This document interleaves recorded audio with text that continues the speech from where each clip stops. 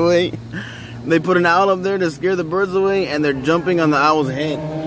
Birds don't care, homie. Birds don't. They put an owl to scare the birds, and the birds are jumping on his head. Look, they're jumping on his head. Oh, not so fried, but.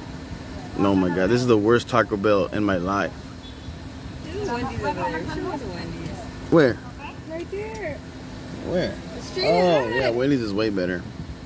Dude, this is the worst Taco Bell I've ever been to. It is.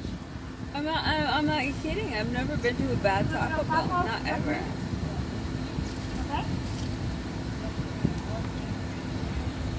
I'm gonna tell my mom. And I have absolutely never been to a bad Taco Bell in my entire life. But I guess a lifetime of endless possibility is just possible. Because this is the absolute worst